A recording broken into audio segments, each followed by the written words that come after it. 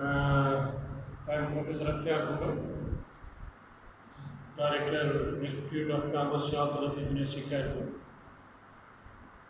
In today's class, I will be discussing with you people about the supply and uh, the factors affecting the supply. So, first of all, I will try to define the supply that what is the supply.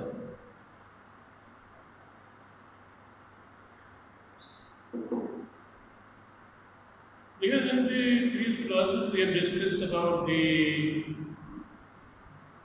demand, it means the behavior of the buyers and uh, that whenever price changes, how people are reacting. In today's class, we will be discussing about the supply, means about the sellers, that whenever the price are changing, how the quantities supplied are changing.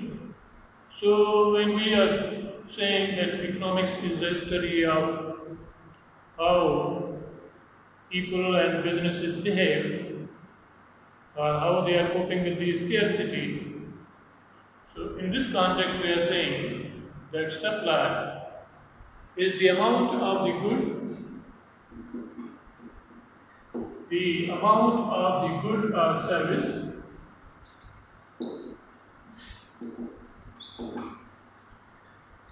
or service which people are, are the firms are the producers.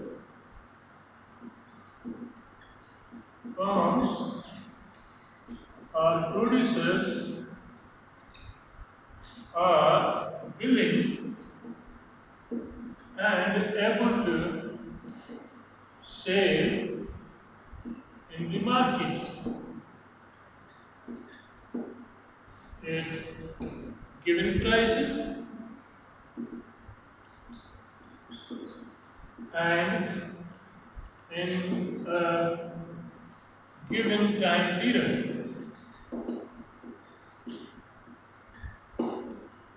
So this is simply the definition of this supply that this is the amount means the quantity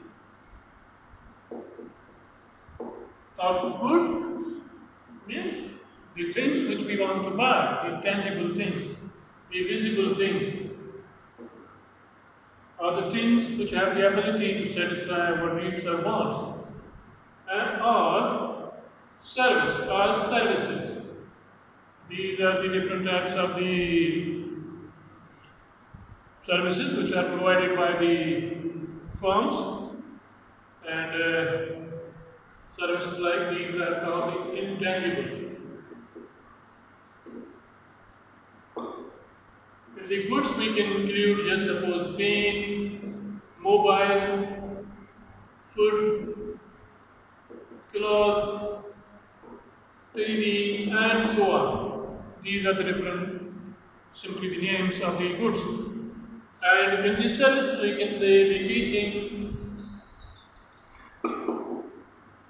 the driver service, the lawyer services, the police services, doctor's services, and so on. These are the few examples of the services that people want to buy. And uh, which firms, firms means businesses are firm, organizations.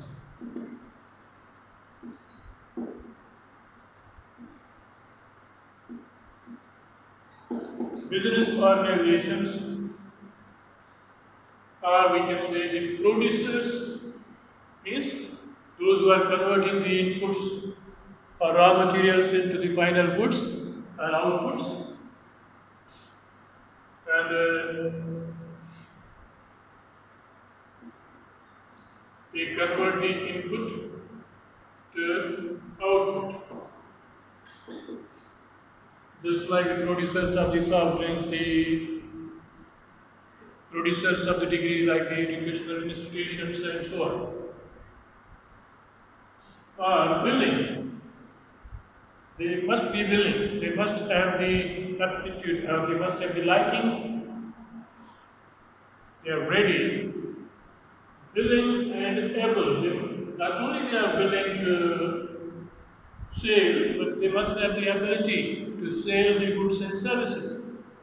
So here the term ability means if I claim that I start from today teaching the medical courses, but it, it will be only my claim, it will be only my want or desire that I wanted to teach the medical courses. But when I check my ability, I don't have the degree related with the medical sciences, so I cannot teach. I will not be able to teach the uh, medical courses And instead of my willingness. To sell means selling means just selling to the people that they wanted to sell. the Beachma, Vikan, in market, market, market is a place. They are buying and selling takes place because in the capitalist economic system. We, we have already discussed that in the capitalist society, what goods should be produced or decided by the market through the demand and supply signals. So that's why we say that the market, so market is a place where is a place where buyers and sellers interact to sell their goods or services and the buyers they are willing buy the or services. Market at given prices means whatever the prices are given. Because when we say that if the price is 20, how much someone is buying of, it, of, of any product, with the price is 20, uh, when the price is 20, how much a firm is selling. When the price is 21, how much a firm is selling. And 23, how much the firm is willing to sell, and so on. If given prices means the different prices in a given time period. The time should be mentioned. Just suppose we say that in a week, the price per use is and the quantity supplied of juices. Just suppose when the price is 20, 10 juices are demanded, uh, are supplied by the firms, and the price is 21, we say suppose 12 juices firms are willing to supply, when the price is 22, they are willing to supply gold, 13. So, time here mentioned is that in a week, that whenever the price of the juice is 20, the firm there are the firms they are willing to supply 10 items, it price 21, they are willing to supply 12, and so on. So we must mention the time period, if it's a day, whether it's an hour, whether it's a month, whether it's a year. And uh, another term which is related to the supply is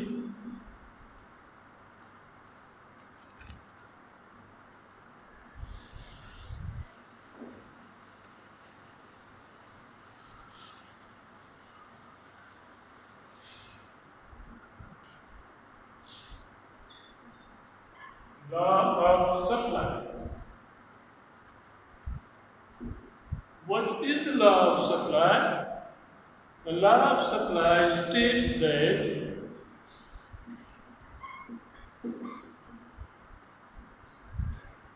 states that whenever the price of a good or we can say any good or service increase or rise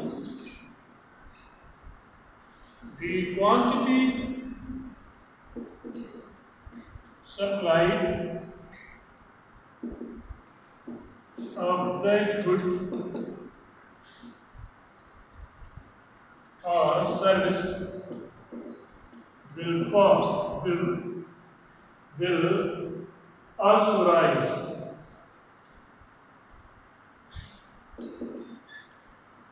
Ceteris paribus. Means when all else remains same, when other things remain same, whenever the price of anything rises or increases, the quantity supplied of that thing will also rise or increase. And vice versa.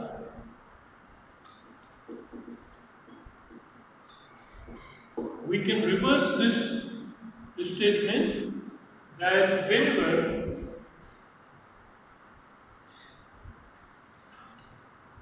price of any good, good or service falls the quantity supplied of that good will also fall. Ceteris paribus.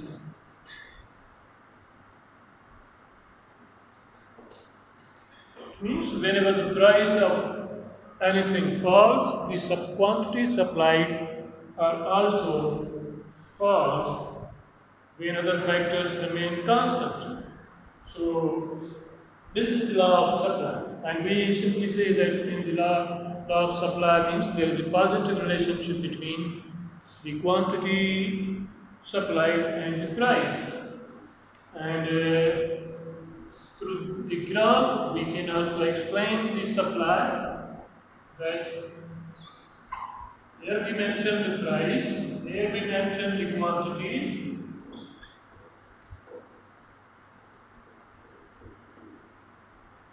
and horizontally we mention the quantities, we say that whenever the price is increasing, the quantity is also increasing. So that's why we say there is a positive relationship between the price and the quantity supplied. But we have to keep in mind the term ceteris. This type of the relationship will exist only all else remains same. So what does all else means in this in the context of the supply? The law of the paribus in the law of supply means there determinants of supply.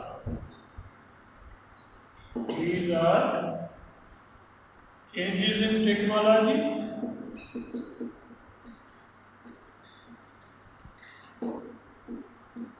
changes in input prices, number of producers,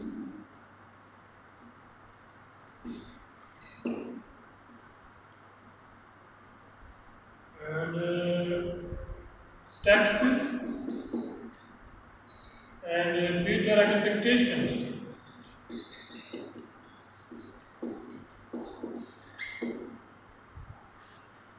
These are the determinants or the factors which are affecting the supply.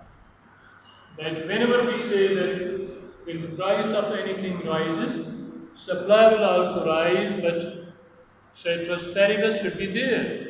And ceteris paribus means other than price, all other factors which can have impact on the supply will remain same. They have to remain same so that we can get the exact response from the supply. Thank you very much for this, for listening and watching.